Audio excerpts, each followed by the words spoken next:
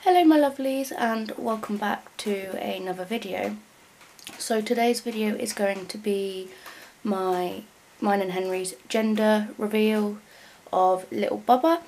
Um, we went to Window to the Womb um, yesterday when I was 15 weeks exactly. Um, Window to the Womb are a private um, ultrasound place that you can go. Um, so we went there to pay to find out what Bubba is um, and followed on by having a gender reveal. So I thought I'd film the gender reveal itself but I forgot to film an intro for you guys. Um, I will probably do a video on my experience, mine and Henry's experience at Window to the Womb at some point because honestly I can't fault the experience whatsoever.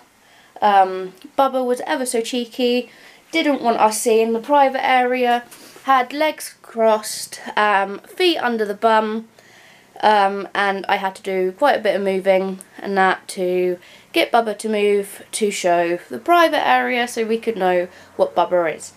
Um, now obviously I'm filming this intro after knowing what Bubba is so not saying Bubba's gender is really hard. So without further ado let's get into the gender reveal itself. Um, like it's just one clip so Thank you so much for watching and I will see you in a next video, whatever that may be. Bye! I'll do the photos. Everyone ready? Yep. Five, Two. four, three, two, one. Oh Oh, what a shot. Wait, so that's a boy? no! It's a boy!